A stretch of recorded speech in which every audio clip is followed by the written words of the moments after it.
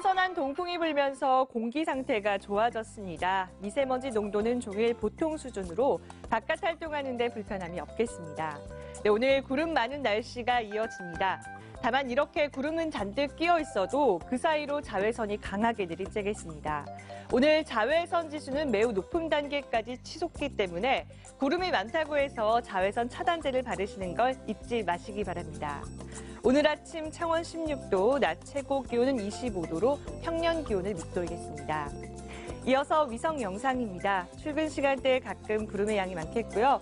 가시거리는 탁 트여 있습니다. 오늘 동해상에 위치한 고기압의 영향을 받겠습니다.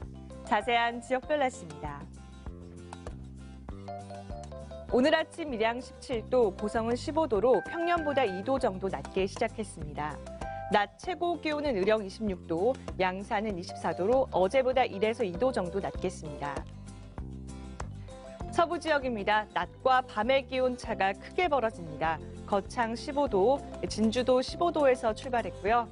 낮 최고 기온은 합천 26도, 사천은 27도로 어제보다 조금 떨어지겠습니다. 풍랑주의보가 내려졌습니다. 바다의 물결은 최고 4m까지 매우 높게 일겠고요. 너울성 파도가 방파제를 넘을 가능성도 있습니다.